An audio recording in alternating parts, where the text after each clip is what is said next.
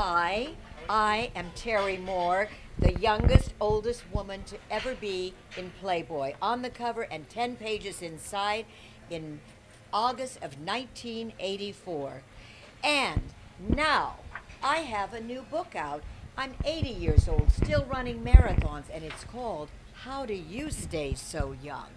And you will find out how I stay so young if you read this from all I learned from all the stars I ever knew, worked with, or knew extremely well.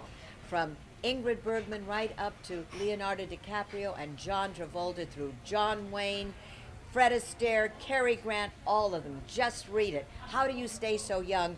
All you have to do is turn to Terry Moore, T E R R Y M O O R E dot com, and you will find out how I stay so young.